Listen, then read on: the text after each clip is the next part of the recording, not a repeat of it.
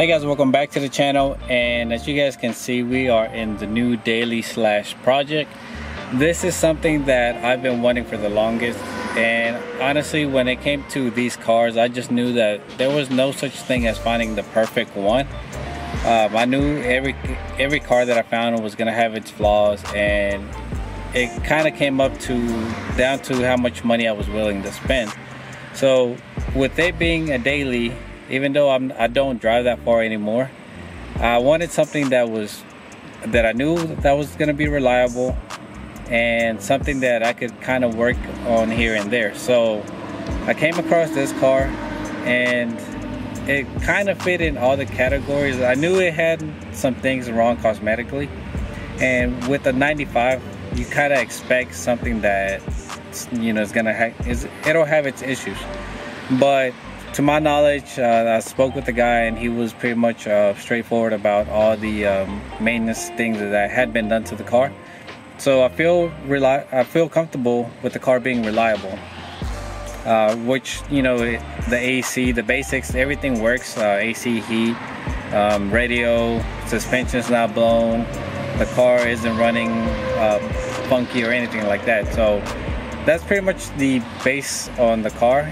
And if you guys haven't noticed already, aren't able to tell, I'm actually in by the year. So I'm in a uh, 95 325 IS. It's not an M3, but it looks like it. Um, you know, it looks it, with the uh, E36. Um, it really didn't take much for your car to kind of look like an M3. So um, I'm not trying to claim it as one, but it's something that I'm really happy about and something that I look forward to working on. It does have some um, mechanical, not issues, which is, I mean, it's just common on these cars with it being a manual. So with that, if the car is a manual, it's something that I've been wanting. My original choice was an E30, but now my second one was an E36, and I'm glad that I found this one, which one, it's an Alpine White, Two, it's a two door. Um, I had a E36 four door that I bought really cheap as a uh, side project. I ended up selling it. Um, there, I just I didn't feel like putting money into that car.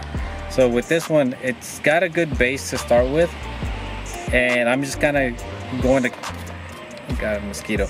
I'm just going to continue with it over time. So hopefully I'll get this car to my liking cosmetic wise and make sure that everything is running perfectly. Before I show you guys the car, um, I just kind of want to go around with the basics on what the car needs. The car, for one, most importantly needs a window, a driver's side window, and I have a feeling that it might need a motor. And luckily, those aren't that expensive, so that's the first thing that I'm going to take care of on this car, hopefully on this coming week. And then second would be the clutch. The car is slipping, it's still drivable, but it's slipping more than what I would have liked. And um, I mean, the guy, he told me before I went and got it, and the car made a two hour drive back without an issue. So it's not the end of the world, but it's just kind of like a maintenance thing that, you know, a, car, a manual car would need. So first would be the window, then would be the clutch. And also it needs an O2 sensor. Um, the car runs perfect but it does have a check engine light. Um, and he said it was because of the O2 sensor. I'm not sure, but I mean, I'll double check it. But other than that, I mean, the car ran perfectly. And um, other than that, everything is just cosmetics. Uh, it's just something that I'm gonna really look into. And overall, the car is in really good condition. So I've been talking long enough, and I know I'm boring you guys. So let's go ahead and uh, we'll start with the we'll start with the inside. Alright, so as you guys can see right off the bat, it's a whole black interior. And the guy, he had the headliner redone. I'm not sure if you guys can see. So it was done in, I, am not sure what kind of material. It's, it's, it's the same, it feels the same, like the same material that the F30 has. So he got the pillars done in black, the headliner black, and um, the back the seat pillars are done as well. The only little minor things would be to replace all the uh, the gray pieces back to black. Um, other than that, I mean, the, the seats are in good condition. This one's in good condition. The carpet is clean. The only thing, the only issue is the passenger, I mean the driver's seat. As you guys can see, has been torn. So I'm gonna look into getting that fixed because this one actually doesn't really need it that bad. But then if I do that seat, then this one is going to be, I guess you'll be able to see the difference in uh, material. So hopefully I can get something figured out where I can get at least the two front seats done. Um, also, you guys know, if, or if you're not familiar with it, um, the E36 does happen to have some door panel issues. On the driver's side, the handle actually broke off. Um, so I got to figure that issue out. So as you guys can see, it does come with a uh, grip royal steering wheel. He gave me another steering wheel as well, which I'm eventually going to be switching out. It's the, I believe it's the, I want to say maybe the M3 steering wheel. It does have the blue, red, and white stitching, and it does come with an airbag. So to me, I think it looks a little, it'll look a little bit cleaner. But I'm gonna, I'm not selling this one anytime soon. I'll probably just hold on to it in case I ever decide to go back to it. It does have a short shifter, and I forgot, I can't think of the brand right off the top of my head, but I believe this is adjustable so you can shorten or extend the length. It does have an aftermarket uh, CD player. He upgraded the speakers all around, which is nice because you guys know a lot of the older cars, the audio just sucks. So uh, that's pretty much for the interior. Now let's go ahead and uh, look at the exterior. All right, so here we have a full shot of the exterior, and I'll be honest with you guys, I'll point out all the defects that I can find like right off the bat. I just got the car today. Hopefully um, the video goes up today. If not, or tonight. If anything, it'll be up there tomorrow morning. Uh, but I would like to uh, get the plastic pieces that go here. I guess it's the plastic trim and maybe whatever goes in here. I believe that's for the brakes. So I want to get those replaced and then I do want to get this repainted back to white. It has a whole bunch of rock chips so I'll get that fixed.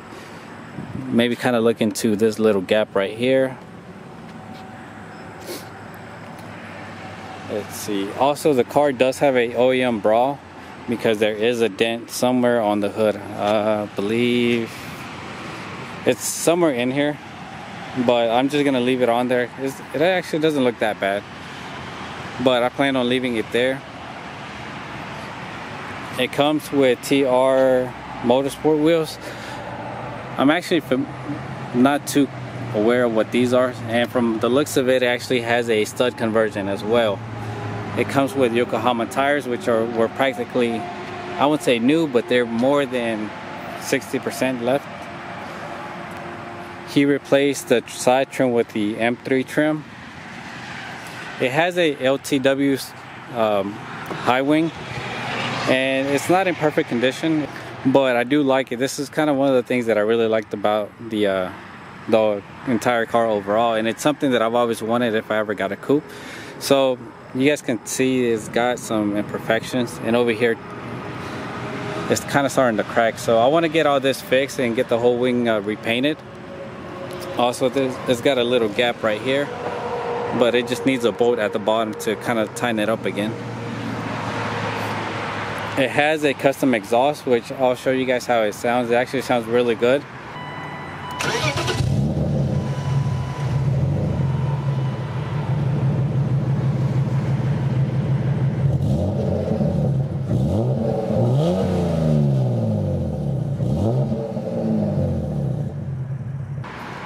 Um, it's got the Depo um, clear tail lights and as you guys saw earlier it also has the corner lights and the headlights. So pretty much this car has the basic things that I would have done to a E36 if I would have gotten it completely stock. And like I mentioned, this is actually a good base to start with for me. And it, it's gonna make it fun. Uh, it's gonna bring content to the channel. And I like restoring things uh, to a certain point if I had the money, obviously I would start from completely scratch um, and then just kind of redo everything on the car. But with this, I'm actually at a good starting point and I don't, I don't know, it's just, it's gonna be fun. It's Alpine White and now that I have this, I know I had an Alpine White E46. I sort of don't want to change the color on the F30 which it, i was con really considering but now that I have this I would really like to keep both cars Alpine white. Just I don't know it's I guess it's kind of cool. So yeah guys that's kind of a rough overview of the car.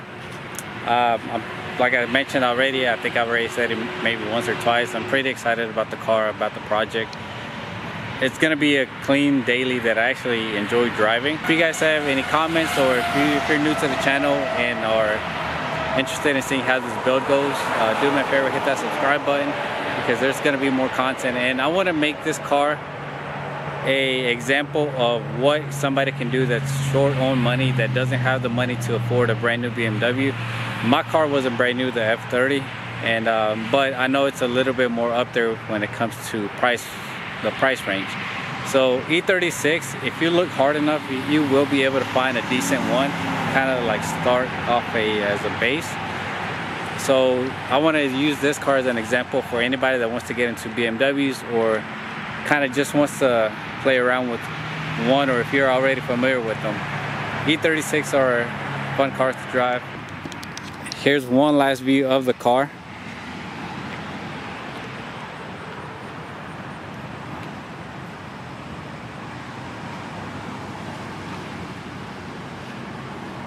The only thing I do want to change is uh, eventually I'm probably going to raise the back. The back is a little too low to uh, my taste. And I know why a lot of people do this. They like to see the car even completely. But I'm just not a fan of having the back wheel tucked so much and not the front. I'd rather have that natural rake that BMW cars have. So eventually I plan on raising the rear. I do want to get the rear bumper repainted if anything unless I can find an M3. Now the M3s and the regular 3 Series didn't really have that much of a difference besides the uh, rear diffuser. But if I can find a rep, uh, actual OEM M3 bumper, I'll probably snatch it. And then I do want to get the newer M3 side skirts. Uh, I think it was maybe the 92s up to 95s came with the flat side skirts like this. And then I believe the 96 or maybe 97s had like a little weird, um, not weird, but it had like a little line going across, which actually made it look more aggressive. So that's what I want to do. I want to get a front lip for the front bumper and get the bumper and the part where the kidneys are repainted. New side skirts. Um, either just get the rear bumper repainted and maybe add the diffuser because I have seen those before. And that'll pretty, pretty much complete the exterior. Get the spoiler fixed and I do have to repaint the roof because the roof is flaking. So I'll look into that. I think that can be done. But after that eventually I do want to get another set of wheels. Um, those aren't really my first choice when it comes to wheels for this car. So we'll, we'll look into it as things as time goes by and see kind of where we're at but thank you so much for watching guys this is gonna do it for today's video I will include the winner of the giveaway at the end of this video. And if you like the new project, give it a thumbs up. And uh, see you guys in the next one.